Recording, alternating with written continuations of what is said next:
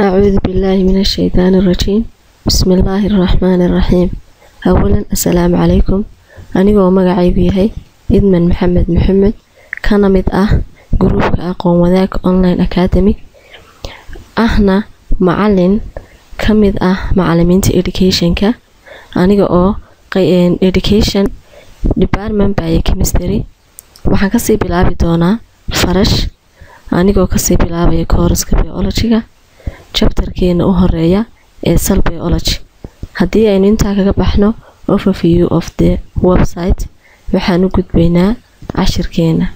Haddaba saynu wada ogsoonnahay sal sal macnihiisu waxa uu noqonayaa waxa weeyaan waa smallest unit of living things. Waa waxa ugu yar ee uu ka samaysan yahay wax kasta oo nooli haddaba outlineka chapterkan haddii aynu eegno waxa ugu horreeya sal structure and organal. Waxaa ku xiga cashirka ah cell molecular component. Waxaa ku xiga water and chemical properties. Waxaa ku xiga cell membrane osmotic properties of the cell.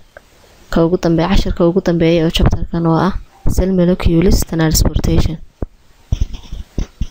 Haddaba sidaynu wada ogsoonnahay salku waxa isagoo aynu saan horeba u soo sheegay salku uu yahay smallest unit of living things. Waxaa u kala baxaa laba qaybood oo waaweyn. Labadaa qaybood waxay kala yihiin prokaryotic cell and eukaryotic cell.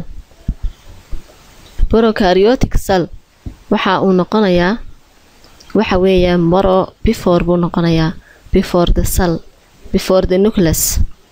Intaan la gaadhin ayna samaysmin nucleastu haddaba sidaad wada arkaysaan sawirka aynu arkayno salku oo aynu ka hadlayno welibana prokaryotic salkii oo ah before nucleaskii waxaa ku dhex jira nucleotide interplasma membrane cell wall piroplasmic space and outer membrane. Haddaba waxaa kale biid waxay noqonaysaa eukaryotic cell. Eu maxay noqonaysaa after weeyaan nucleus waa marka ay samaysanto nucleustii nucleustii markay samaysanto nucleustii waxaa soo hoosgali doona cell organalas cell organalaskaas oo noqon doona. Golgi abratiskii uu ka mid yahay. Mitoconderiyadu ka mid tahay. Indoplasma reticulum oo raf iyo ithmus u kala bixi doona. Haddaba inaynu intaa kaga gudubno labadan sawir. Cell structure structure of the animal cell. Waxa weeyaan animal cell and cell baa jiraya. Lianahu maxaydanay biologigu wuxuu kala baxaa? Saynu ognahay maxaydanay plantis and animals. Plantis oo noqonaya is the study of the study of botany. Iyo animal of noqon doona is the study of zoology. Haddaba haddii aynu eegno sawirkan sawirkan waxa inoo sheegayaa structure of the animal cell.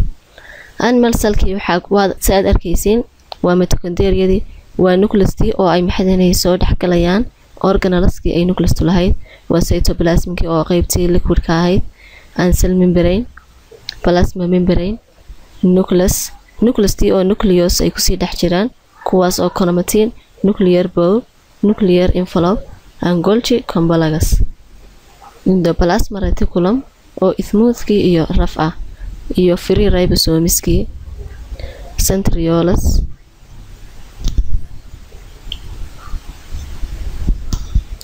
cell cell organales cell organalaskii saynu sheegnay waxa ugu horeynaysa waa nucleus. Nucleustii waxay leedahay one nuclear envelope. Waxay leedahay envelope dahaadh sare oo ku dahaadhan bay leedahay. Coromatinkii ayaa ku dhex jira aan aan d n a iyo nucleolus. Nucleustii ayaa si kala baxaysa nucleolus. Mitoconderia mitoconderia sidaynu ognahay waa is the power house of the cell waxa weeyaan waa qeybta waa qeyb muhiima waa power house of the cell waxay leedahay double membrane bay leedahay mitoconderia maternal d n a waa power house of the power house of the cell waxaa lagu sameynaya waa food converted to energy cuntadii ayaa loo bedelayaa energy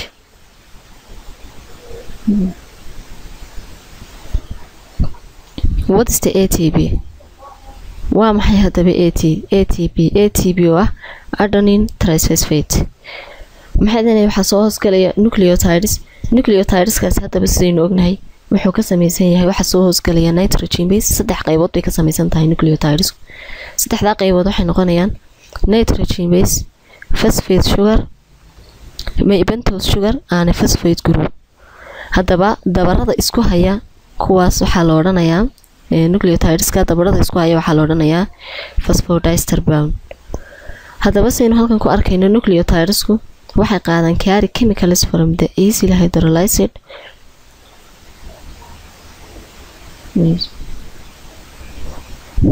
phosphodiester bound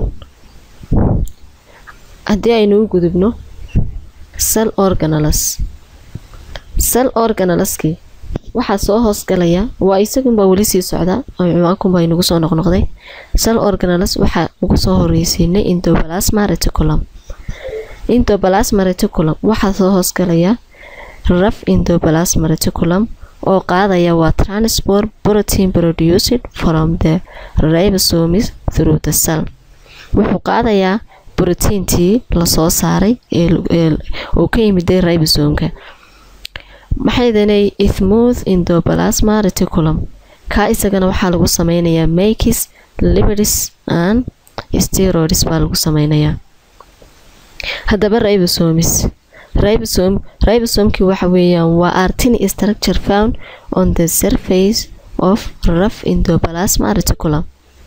Waxa weeyaan waa miiqyo yaryar waa structure la miiqyo yaryar kaasoo aynu ka helayno oogada sare ee raf indoplasma reticulum indoplasma reticulumna waynu soo sheegnay inuu qaadayo transport protein produced from the ribosome through the cell waxaa ku xiga lysosome lysosomkaasina wuxuu la sii socdaa uun cell organala lysosomkaasi waxa weeyaan waa r spherical sac hydro lysosome contain hydrolytic digestive enzymes which must be kept separate from the rest to the cell and prevent damage.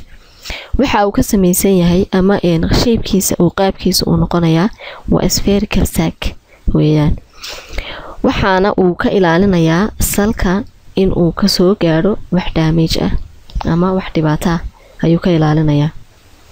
Intracellular digesting and releases nutrients breaks of the west breakdown of the west waxa almuhiim muhiimadiisu waxa weeyaan inuu spherical saa ka samaysan yahay iyo in uu salka ka ilaalinayo wixii damage ah ee soo gaadhaya brigmosis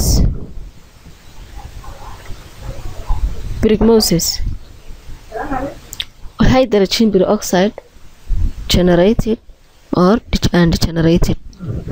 Sterols waa water based water based and chemical reaction. Cytoskeleton cytoskeleton waa filament. Filament filamentiska waad arkeysaa waxaa soo hosgalaya waa jitiin intermediate and microtubules jitiin oo noqonaysa responsible for the cellular contraction and intermediate-ka oo noqonaya provide structure and stability ayuu ilaalinayaa microtubules waa provide organization to the cell and make material within the cell